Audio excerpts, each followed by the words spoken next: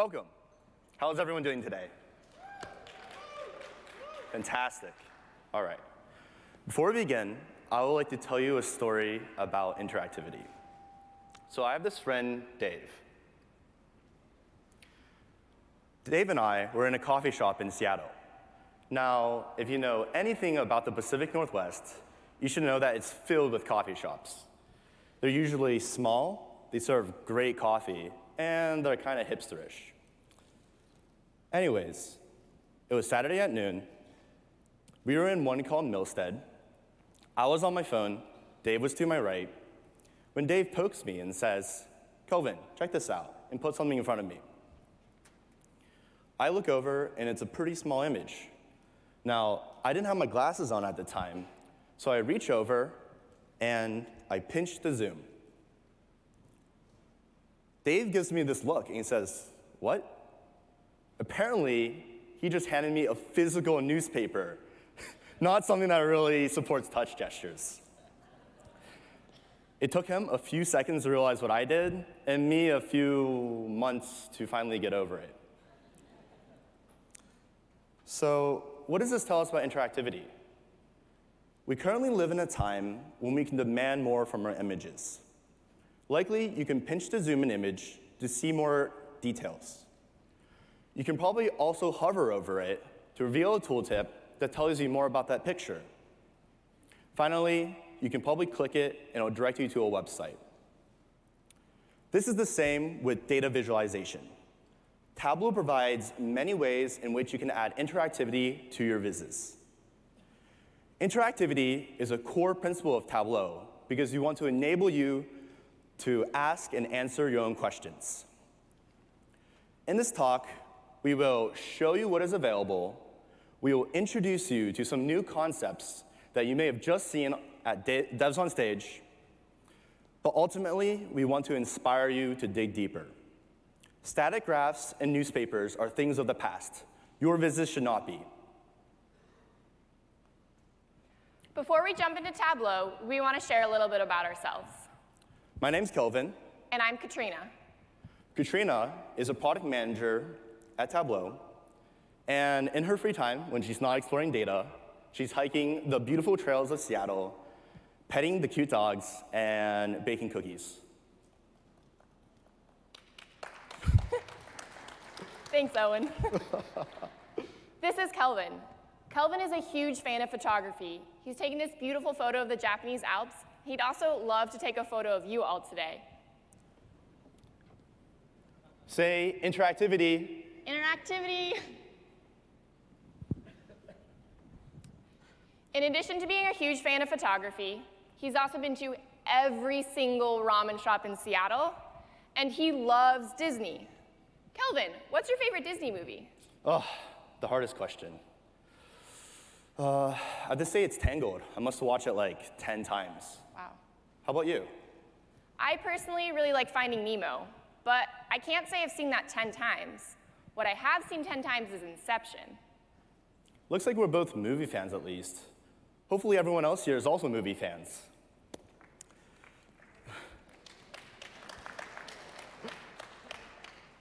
Let's build a viz that can help us and everyone here explore movie data, and let's talk about interactivity along the way. How does that sound? Sounds great. Cool. I found this, uh, I found this data set at themoviedb.com. It has some fields like main genre, title, profit, and revenue. I think we can use it. Looks perfect. In the next hour, we're going to cover a number of tools to teach you all about interactivity and how you can incorporate it into your data vizzes in Tableau. We're going to talk about the following topics. Selection, highlighting, filtering, parameters, sets, tooltips, URL actions, navigation actions, and dashboard buttons. We've got a lot of content for you all today. To help guide this talk, we've come up with three categories to help you understand when you should use each tool. Tableau has a lot of different ways to add interactivity, and it's hard to know when you should use each. If you're building interactive content, chances are you're building it for someone other than yourself. No matter how good we are at our jobs, it's really hard to predict exactly what our users who are coming to our vizzes and dashboards want to know. By adding interactivity, we can help our users create their own experience for themselves and answer their own questions. Maybe your user wants to find data that's relevant to them in a sea of other data. Or maybe they want to reveal more data to dive into the details of something that they find interesting. Or maybe they want to change the viewer context to better answer their own question.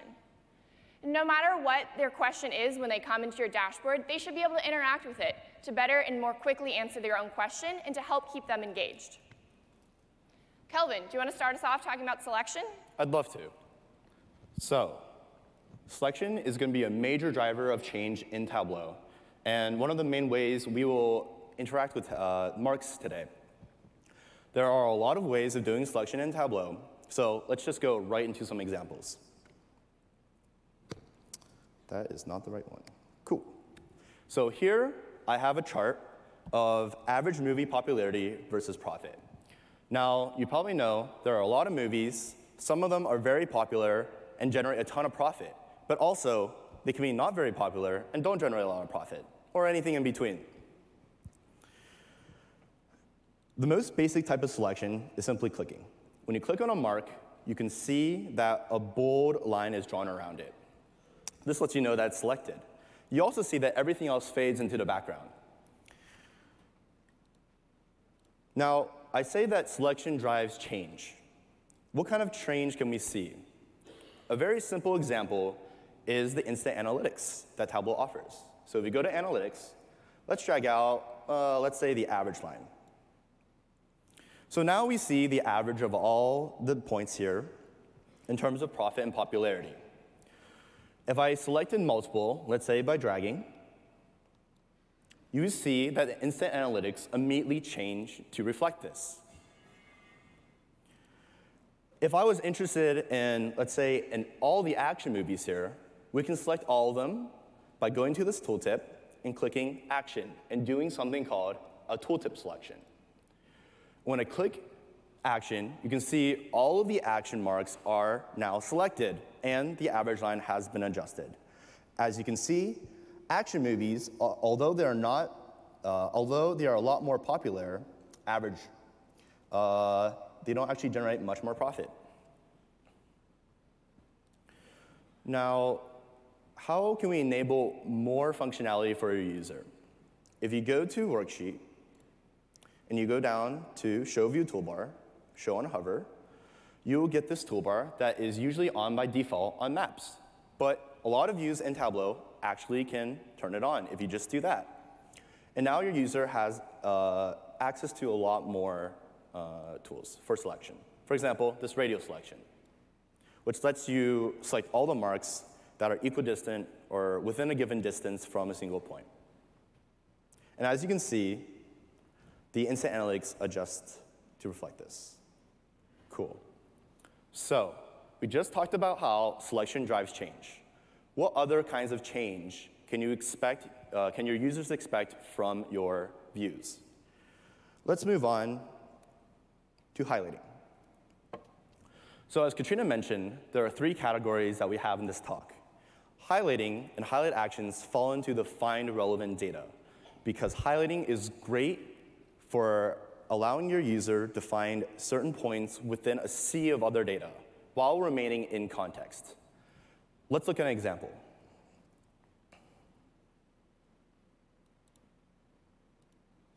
Here is the same chart as before, popularity versus profit, except this time it's filtered to my favorite, Disney movies. Now, what if I was interested in just the popularity and profit of adventure Disney movies? I can go to the right, and in this legend card, there's an icon here that says Highlight Selected Items. When I click this uh, icon, I can now click on Adventure, and you can see that all of the highlight, uh, all of the adventure marks are now highlighted. Now, note how highlighting is different from selection. Selection draws that thick line around the mark, whereas, uh, whereas Highlighting simply just pushes it in front and pushes everything into the back and fades it away. Another thing to note about selection that I forgot to mention was that selection stays between saves. So if you were to select and then leave, uh, save your workbook and leave, Whenever you open it again, you will see that those marks are still selected. Cool. So, adventure. We can also see that when I select one of these marks now, you see that it will also uh, highlight all the other marks because if I clicked on the icon. Okay, we just talked about highlighting on a sheet. What would highlighting on a dashboard do? To do that, I would like to intro actions to you, but through an analogy. So, as Katrina mentioned, her favorite Disney movie is Finding Nemo. Here's a scene, here are two scenes from Finding Nemo, one from Finding Nemo, the other from Finding Dory. And at the top, we have Nemo and Dory. Nemo and Dory, in this case, represent marks that you can click on or select. On the bottom, the two scenes are views that are in your dashboard. Now, an action would have you select one of the marks on top, and the highlight action will then highlight, let's say, Dory in both of the views on the bottom. What does this look like in Tableau? Here we have a dashboard with two views. Now, before this talk, I never knew that Disney had a lot of subcategories or divisions. They have pictures, productions, animation studios, etc. Each one of these studios is responsible for some of their favorite movies. What if I wanted to find all the movies on the right in the budget versus profit graph that relate to the mark that I select on the left. I will do a highlight action. To do this, we go to Dashboard, Actions, and now we bring up this thing called the Actions dialog. The Actions dialog is a place where you can add and manage your actions. If we click on Add Action, and we add a highlight action, we can now add a highlight action. Let's call this uh, Disney highlight action. Cool. So highlight actions, as you can see here, have a source and a target sheet. The source sheet is the one that your viewers will be interacting on. In our case, it will be the Disney production company's sheet. So let's check that. And you can see that our action here will be running on select. There's also hover and menu that you can do to trigger the action. For our target sheet, that is the one where you see the highlight action and actually do things on. In our case, it's going to be the Disney movies profit by budget. Cool. Now, let's test it.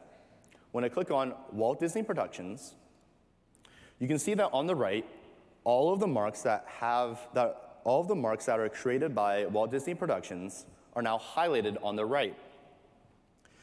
So now your user can control what is being highlighted uh, just through this one control on the left. What we can see here is that although Walt Disney Productions produced movies that did not have a very high budget, it actually generated relatively more profit. This makes sense because Walt Disney Productions was one of the first divisions of Disney. Now, what kind of movies did Walt Disney Production produce? Let's add a label to the right that only triggers on highlight. We can go to the sheet, and we can drag out title into label.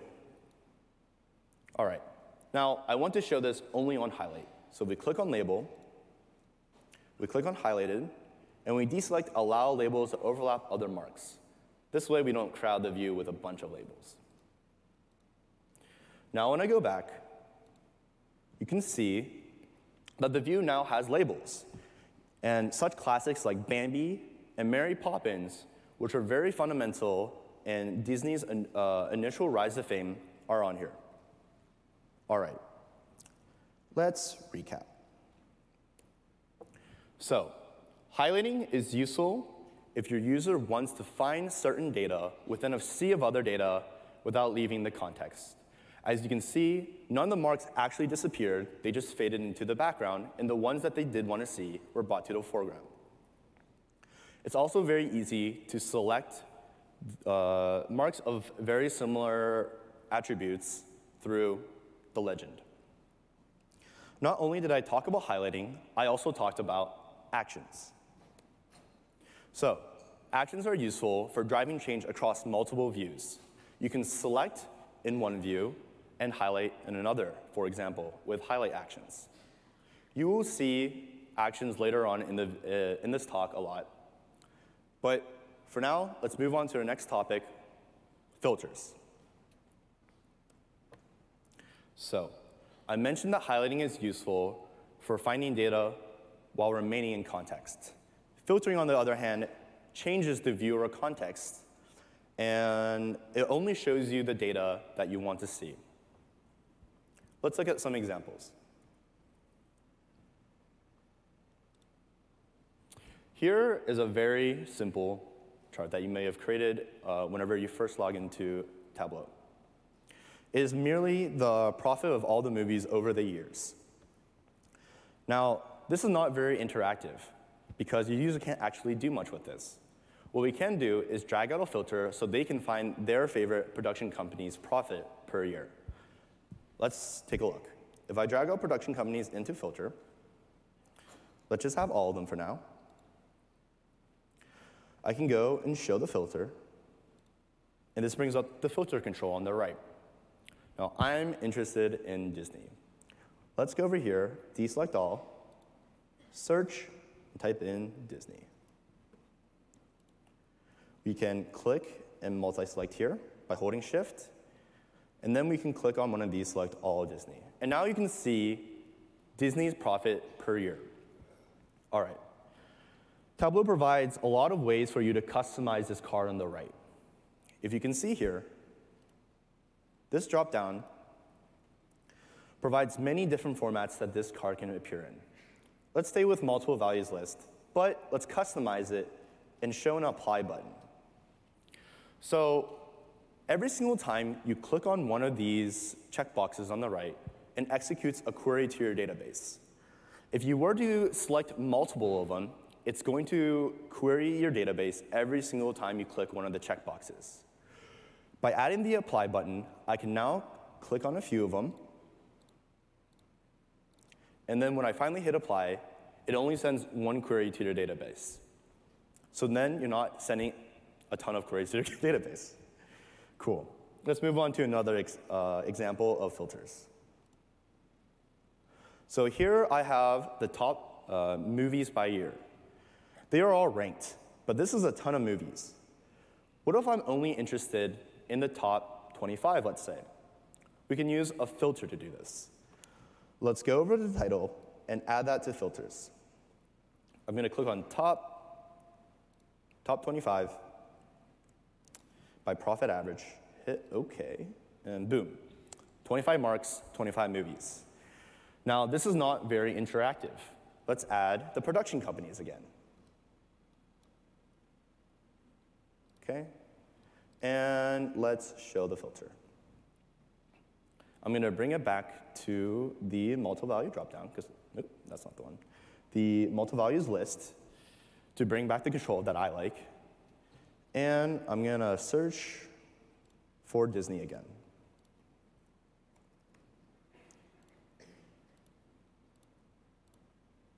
Okay, now I see that Frozen is a top movie. But wait, I wanted 25 values, not four. What's going on here? Well, filters are pretty intricate. They have an order of operations, like the way math has order, order of operations. If you have an expression and you don't use the order of operations, turns out you probably won't get the answer that you're looking for. This is the same with filters. So what I'm showing here is a Tableau help page. These, this is a great resource for you to learn more about things like filters. And if you scroll down here, you're going to see this. This is the order of operations in Tableau in which filters are executed. There's a lot of things here, but what we're interested in are these three marks. So over here, you can see that top in filters gets executed before a dimension filter like Disney or production company. So that means we are first filtering the top 25, and then we're filtering all the Disney movies that are within the top 25 of all movies. When, what I really wanted was the top 25 Disney movies. So to fix this, we are going to promote our dimension filter production company into a context filter up here. So that means that the Disney filter gets executed before the top 25 filter. Let's do that. So I'm going to go back here. I'm going to click down on the filter and go to Add to Context. Now, adding the context will promote it to a context filter, and now that gets executed first before the title. And as you can see here, we now have 25 marks again. Is my favorite movie on here? It is not. Drats. okay. So we just went through uh, we just went through filtering on a single worksheet. What does it look like? What does it look like on a dashboard? Well, first thing I would like to direct you to is another analogy. This is a scene from 101 Dalmatians. Now, if you remember before, in highlighting, whenever you clicked on a mark, it actually just highlighted in, another sheet. How does that differ in filtering? What if I wanted to find the dog patch? Whenever you click on, uh, whenever you click on patch in another sheet, you can see that highlighting will actually fade all the dogs to the background, whereas filtering just shows patch. So cognitively, you aren't overloaded by the number of dogs here. Let's go back to Tableau and show a filter action. Here we have a dashboard. On the left, we have profit by year, as we've seen before. And on the right, we have a simplified version of the top 25. Now it's only showing the top 10. What if my user wanted to see the top 10 movies per year when they click on a year on the left? We can use a filter action. The quickest way to do it is we can click on the sheet on the left and this icon right here that says Use as Filter. Now, when I click that, you don't see very much happen right now. But if I were to go to the Actions dialog, you can see that Tableau generated this filter for us. So now, whenever we select and we target the sheet on the left, it's going to filter all the views by the year. Let's test it out. I'm going to click on 1994. Wait, nothing's showing up on the right. What's going on? Well, if you remember before that there is an order of operations, this also applies to actions. So if we go to uh, this sheet, we add the action here to the context, and we go back, you can see that this is now showing the top 10 movies. So, again, oh, The Lion King's here. Great. I love that movie. Let me give you one last filter action example. On the top, we have the same profit by year, but this time I want to give my user more details. Sometimes they just want to see more details. So on the bottom, I've included this table of movie details as things like title, budget, profit, and runtime. But there's a lot on there. I don't want to always be having my user scroll through there every single time they want to find a movie. What if it was filtered by what we select on top? Let's do this through a filter action by going to the Actions dialog and creating a filter action. We're going to name this filter action detail. We're going to run it on select. And our target, our, our source is going to be the view on the top, which is the filter table profit by year. And our target is going to be the table on the bottom. Now, what do we want the behavior to be when nothing is selected? I want to not actually show the table so it doesn't have so much stuff for them to always view every single time they open this page. So whenever you clear the selection on top, I wanted to exclude all values. Okay, let's test this out. Now, when I click on 1994, you can see the Lion King's back on here because the bottom is, is uh, ordered by profit. And it filters to just the movies that were released in 1994. And finally, when I click out, you can see that the table disappears, so the data is only available whenever your user is ready for it. Okay, let's recap. Filtering is useful for reducing cognitive and computational load. It helps your users focus on just the data they want instead of having a context of data that they don't want. We also demoed filtered actions, which, like highlight actions, trigger whenever you select a mark on one view, it filters all the other views to just the data they want to see. Now, as we mentioned, there are things like order of operation and performance gains you can get from filters, and that's a very intricate topic. If you would like to learn more, we'll include a talk at the end that you can go to to learn more about that. But for now, I'm going to hand it off to Katrina to give you even more ways you can add interactivity to your vizzes. Thanks, Kelvin.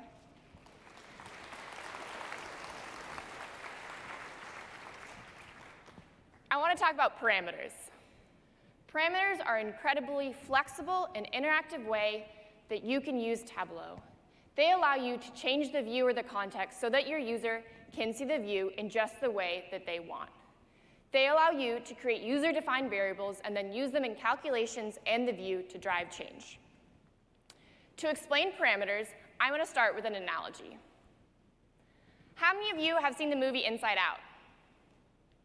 It's a pretty great movie. It's about a girl, Riley, who moves from the Midwest to California, and she's less than thrilled.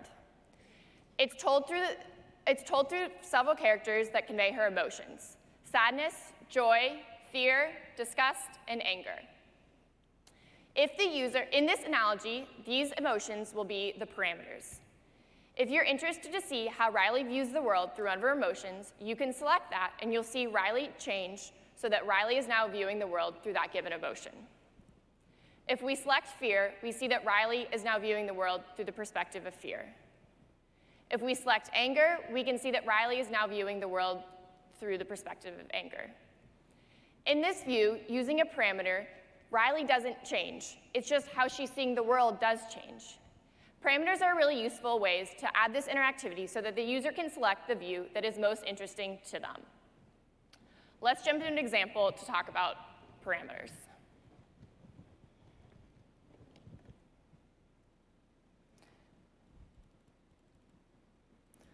I'm going to start with an example of a top-N filter. Kelvin ta taught us how to filter our, our vizzes by top 25. But what if I don't want to know the top 25 movies? I only want to know the top 10 movies or top 15, or maybe the top 13 for some reason. We can do this with parameters, and we can let our user pick what value they want to use.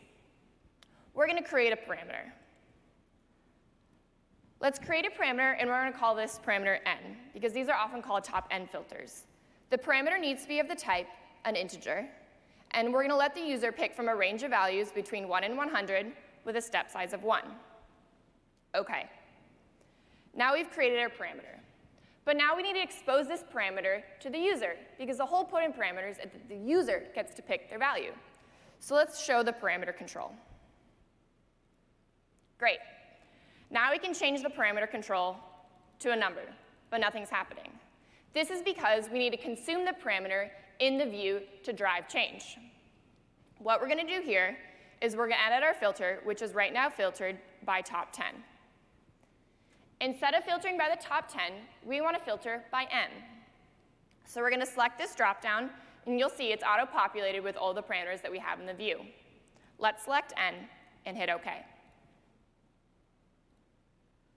Now, you can see as I change the parameter value, the number of top movies in our viz changes. Pretty cool. So now we can see the top whatever number of movies I want to see. Pretty helpful. Let's move on to another example. Right now, we've been looking at the top movies by profit. But what if our user isn't interested in profit? Let's say they want to view the top movies by budget, popularity, or even movie runtime. As the author, it's really easy to be able to swap out the measures as you go. But your users and your viewers don't get this ability. But you can add this ability by using parameters.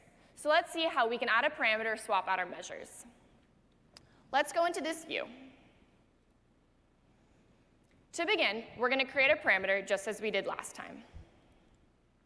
We're going to call this movie metric. And we're going to have this be a string, and the user is going to be able to select the parameter from a list of values. The list of values will include profit, budget, popularity, and runtime. Great. We'll select OK. And again, we're going to show this parameter control to make sure that our user has the ability to change the parameter. We've created our parameter, but now we need to use this parameter in a view. We're to, this time, we're going to create a calculated field to consume this parameter. So let's go in and create a calculated field. And we're going to call this movie metric average. And I've already written this calculated field, and so you don't have to watch me type. I'm going to paste it in, but I'll explain it. What we're doing here is for the parameter movie metric, when the parameter value equals profit, the value that is returned is the average profit. When the parameter equals budget, the value that's returned is the average budget, and so on and so forth. Let's click OK. Now you can see, as I change the parameter value, that doesn't work. and the reason that this is working is because right now, all we've done is define the calculated fields. We need to use this calculated field in our view. In our view, all that's showing is the average profit. So we're going to drag the, the calculated field we've created and swap out average profit for average movie metric. And now, as I select and change the parameter, our view updates to view that, to have the data viewed by what the user selects. And to make sure it's really easy and the user understands what we're viewing it by, we're going to add the value of the parameter to our, uh, to our worksheet title. So here we'll go in and we'll add parameters movie metric. So now it's easy to tell. Let's go back to our dashboard where we started. We can show the parameter control to make sure the user is able to edit the parameter on the dashboard. And we can change the parameter value here. Right now, this is only changing the view on the right. But let's change the view on the left also. So we're going to go into this view. We already have a parameter created, and we already have our, we're already showing our parameter on the dashboard. We already have our calculated field. So all we need to do now is swap out average profit for average movie metric. Now if I go back to the dashboard, I can control the parameter and control both views. One thing that's different about parameters from other things is that parameters are defined globally one parameter value is used across the workbook. And so this can be really powerful to use parameters across data sources.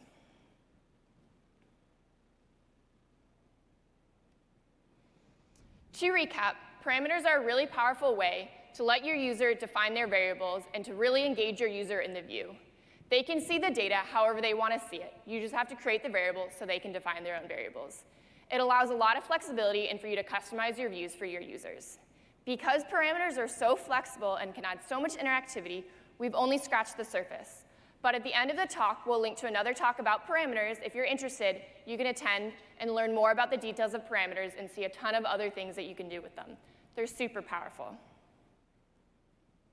For now, I want to move on to sets and set actions. How many of you just came from Devs on Stage? If you just came from Devs on Stage, you just saw set actions. They're awesome. I'm super excited about them, and I'm sure you all will be. As soon as you get, get your hands on 2018.3, you'll get to play around, and you'll see how cool they are.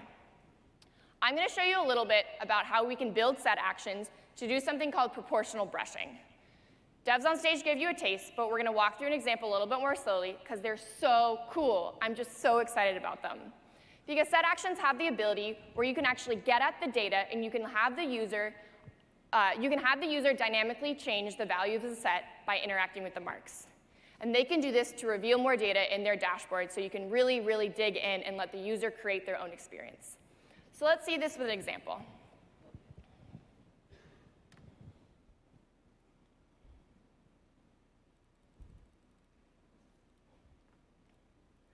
I'm going to start off with this dashboard that I've already created using a set action, and then we'll walk through how I created this. We're looking at the top 10 movies on the right, and on the left, we have the total amount of profit in a given year that's been produced by all the movies. We can see in our tooltip that Avatar was produced in 2009. And Avatar made a lot of money. But I want to know how much of 2009's profits can be attributed to Avatar.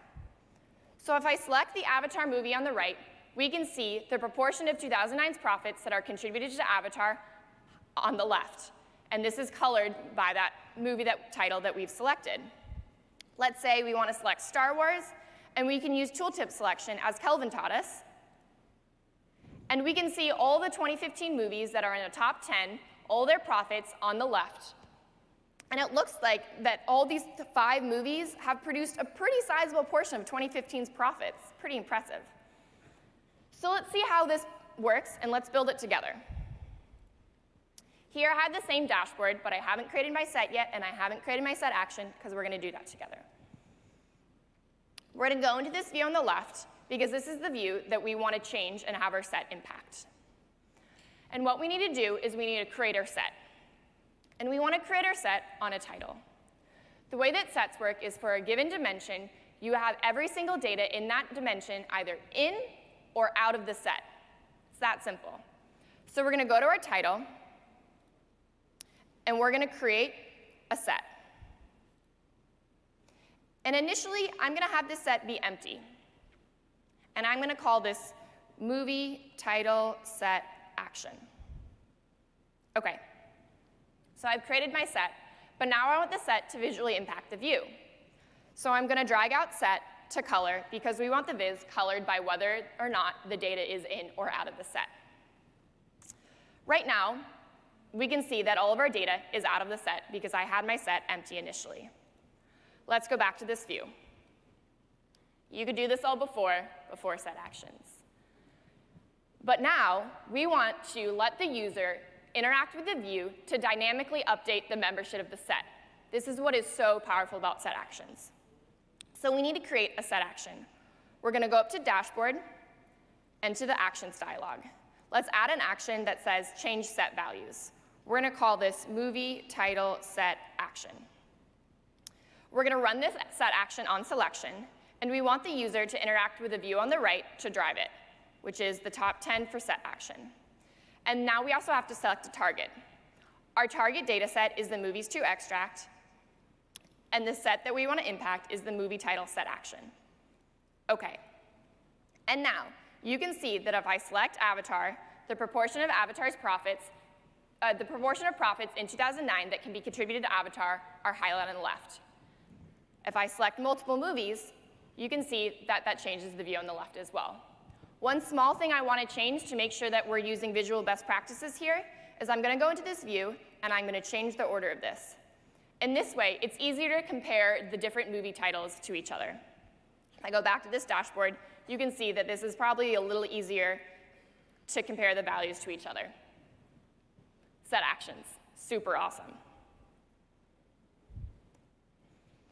As I said before, set actions give you the user the ability to dynamically update the membership of a set. This allows you to to let the user get at the data so that you can drive calculations and drive changes in the view. These are incredibly powerful things, and I'm so excited that we've just released them. There are a number of talks about set actions because everyone here is super stoked about them. I'm going to link to two talks at the end that dive into more advanced examples about set actions because there are so many cool things that we can do, and I'm sure you're going to discover so many more cool things that you can do than you'll even see at this conference. So we'll link to those talks at the end of this. For now, let's move on to tooltips. Tooltips are a really helpful way to let the user, to let you, eh, to let the user interact with your data to reveal more information. You don't want to crowd your view initially when your user sees it with too much data. You want them to explore and see their data on their own when they're interested in. Tooltips are a really powerful way to let the user interact and to reveal more data on, the, on demand so they don't get information overload. They just get the details that they want to see. To talk about tooltips, I'm going to use an analogy from my favorite movie. If you know this scene, This, or if you know this image, this is an image from Finding Nemo. You might not know why I picked this movie, or you've picked why I picked this image from this movie. I know exactly when this is happening, but you might not. But lucky for you, I provided a tooltip. So if we interact with our Dory mark, we can learn that Dory speaks whale. This is a super funny part of the movie, but it might not be information that you need initially when you see this image. But it's helpful information if you really care about finding Dory, or finding Nemo, and finding Dory, like I do. So if you interact with a view, you can learn more information on demand. And I can learn that Marlin doesn't speak whale. Useful information, but not something you initially want, just something that's useful in a tooltip. So let's see this with data in Tableau.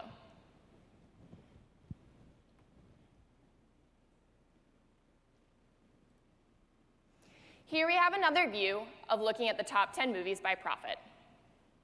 And when we come to this view, we're going to have a similar, we have a similar question as we had in the last dashboard, but I'm going to show this a little bit of a different way.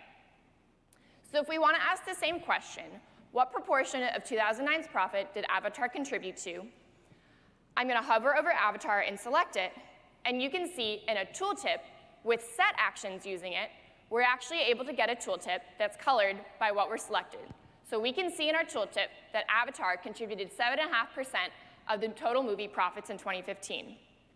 We can select Star Wars and see the same thing. We can use our tooltip selection, and now we get 33.5% that these five movies in the top 10 movies have contributed to 2015's profits. There are so many different ways that you can add interactivity and you can reveal this data. The last dashboard was one way, this is another. Let's figure out how I built this. Here, I have the same worksheet, but I haven't yet added my tooltip, my Viz in Tooltip, or my set action. We're going to do that together. Over here, I have my view, which is, which is the view that I'm going to use in my tooltip. This is just looking at the total profit over time. No filters, just total profit. And that's the view we want to use in our tooltip. So we're going to go and edit our tooltip. And I've already added the text of it, and I just want to insert my, my viz. So let's insert the sheet, viz and tooltip total profit. OK, so now you can see the total profit of the movies that we're hovering over in the tooltip, represented in a viz. But this isn't super useful right now, because for Avatar, in my main view, I'm seeing that it's produced two and a half, two, wow, a lot of money. Um, and if I, in my tooltip, I can see the same thing. But we don't want that. And what it's doing right now and why we're getting duplicate bars is that if we go back to this view, we can see that our Viz in Tooltip has created a filter. And our Viz in Tooltip is filtering on both year and title. We only want it to filter on year because we want to look at the proportion of movie profits that this given title has produced for a given year. So let's change that filter. We're going to go into our tooltip instead of, instead of editing by all fields, we're going to filter by year of the release date.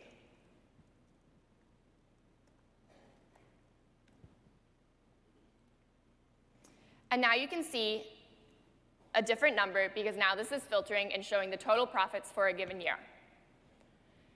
And now we're going to add the set action part of this because we want this viz in the tooltip to dynamically update to show the percentage of that year's profits that this movie contributes to. This means we need to start by creating a set. We'll go back to this sheet because this is the sheet that we want to visually impact with our set.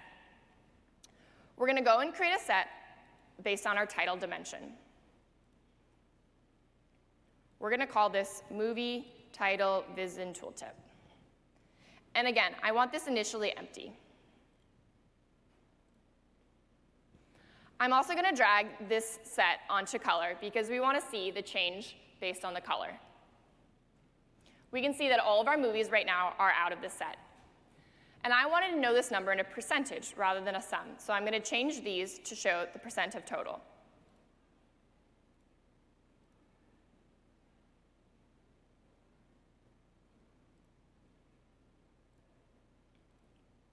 Great. Let's go back to the sheet and now we see the view that we've changed in this sheet. But we want, to we want to dynamically update the membership of the set, so we need to add our set action. Instead of adding a dashboard action as we've done before, we're going to create a worksheet action since we're on a worksheet. We're going to add our action, change set values. We'll call this Viz and Tooltip set action. It'll be source. The source will be the sheet that we're currently on. We'll run it on selection, and it'll from the movies to extract to the movie title and Tooltip set. Okay. And now you see as I select Avatar, about 7.5% of the profits from 2009 are from Avatar. For Star Wars, about 9% of the profits in 2015 are from Star Wars. About a third of the profits of these top five movies contributed to all of the profits in 2015. Combining tooltips, Viz and tooltip, and set actions, you can do some pretty powerful things to provide more details on demand. It's really nice for your user to be able to get more information, but only get it as they interact and as they're interested in it because that way they're able to create their own experience and be more engaged with the content that you create.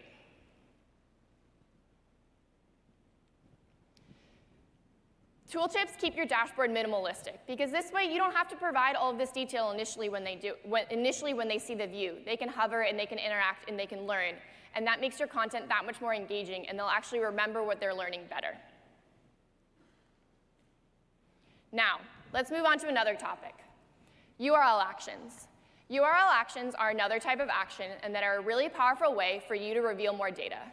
It's a nice way for you to be able to incorporate external content and websites and help your user learn more that way. So let's see an example.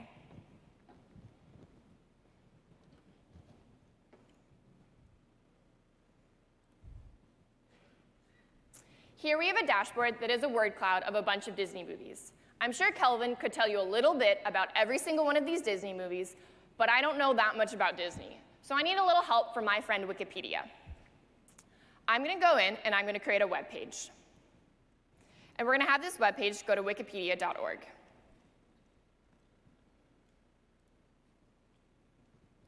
And now what I want to happen is as I select a, as I select a mark at the top, I want to Wikipedia search that movie. I've embedded the Wikipedia page and the search will happen in that page. So I need to create a URL action. Let's go up to the dashboard, open up the Actions dialog, and create a URL action. We'll call this Wiki Search This Movie. And the source sheet will be this view on the top, the word cloud. We'll have it run on selection. And now we have to add the URL that it's going to go to. What's really cool is that we can use our fields to drive which URL we'll go to. So I'm going to have this wiki search, and I happen to know that the, uh, that the URL to go to is wikipedia.org and slash wiki, and then if you add your search term. In this case, we want to add the search term for the movie title. And now, if I select Pirates of the Caribbean, you can see that Wikipedia will not search it. Let's go and edit this to make sure I've done it correctly.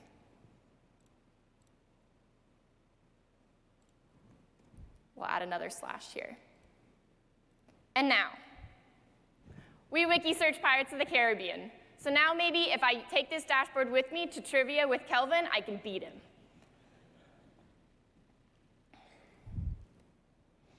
URL actions are a really great way to incorporate external content into your dashboards. You can link to websites, and you can do a lot of creative things with them to provide and bring in external content into Tableau and to drive changes that way.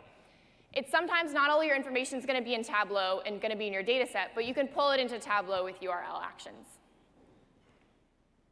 Let's move on to our last topic, navigation. This is, we're going to talk about two different things in navigation. One is the new navigation action. The other is the new navigation dashboard button. We're going to talk about both, and I'm going to tell you a little about how they're different and when you should use each. Both are really useful ways for you to take your user through a journey in your workbook and help them navigate along the way.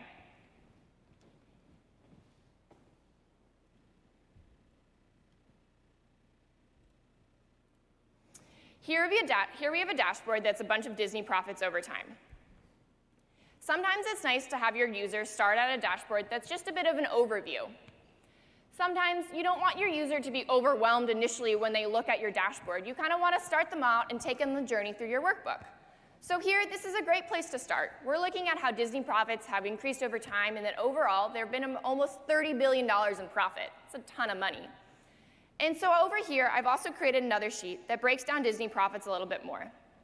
Here, you have a filter and you can interact with the different, you can interact with the filter to change the year. And you can also see the breakdown of a bunch of movies based on their profit and their budget. So I want the users to end up here, but only if they want to know a little bit more information about Disney profits. But I want them to initially start at this view because I think this is a good beginning, good beginning place.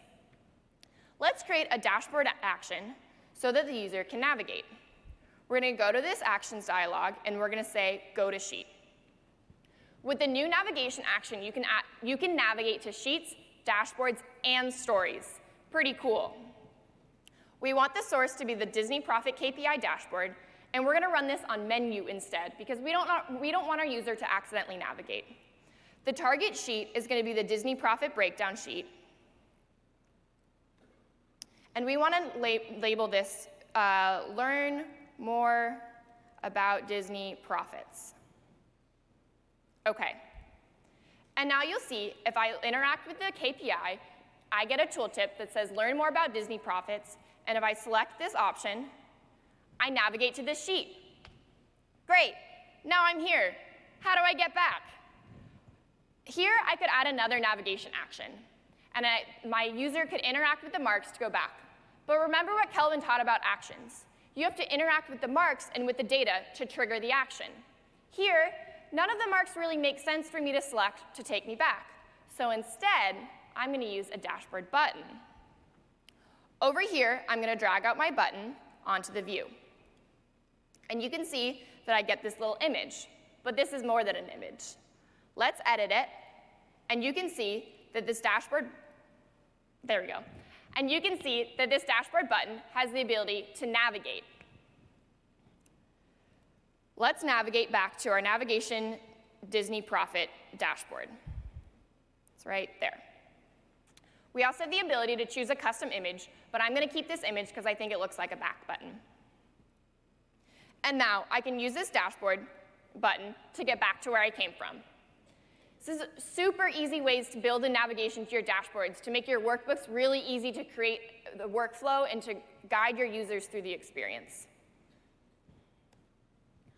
I just talked about two new ways to navigate in Tableau. They're different. Navigation actions are actions. The user interacts with a mark to then navigate to a sheet, dashboard, or story. Dashboard buttons are dashboard objects.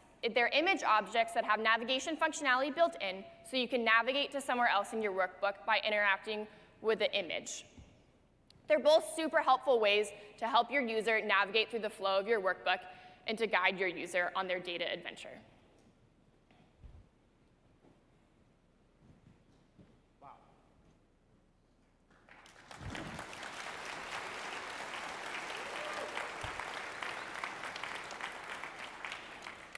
wow, we just went over eight ways you can add analytical interactivity to your vizzes for your users.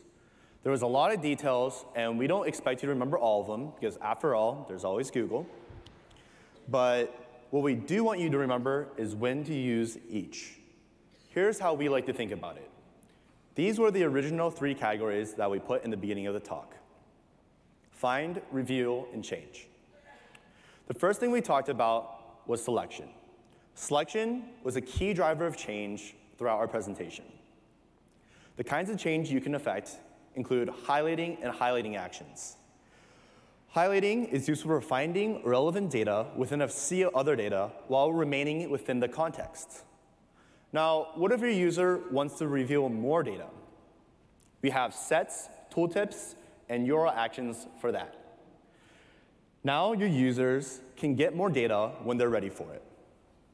Finally, what if your user actually does want to change the view or the context? We have filters, parameters, and navigation for this. And that way, your users are only viewing the data that they actually want to see. As we mentioned throughout the talk, here is a list of related talks you can go to. I talked about how filters have nuance to them and that they affect cognitive and computational load. Things like order of operations and performance can be covered with Espresso Self with Tableau filters. Katrina talked about parameters and gave two examples, but as we mentioned, there are a ton of examples you can do with parameters and really cool things you can do with them. So, oh, the places you'll go might be the place you go after this talk.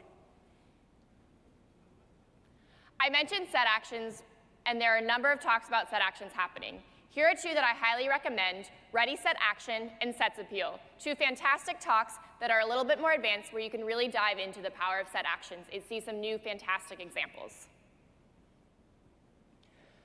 If you'd like, we'd love you to complete the survey of how, you, of how you thought this talk went so that we can make it even better for next year. And with that, we want to say thank you so much for listening to this talk. We are so appreciative of all of you, and we are so excited about Tableau, and we're so happy to share. So if you'd like to get in contact with us, our emails are up here. We'll also stay for a little while after the talk.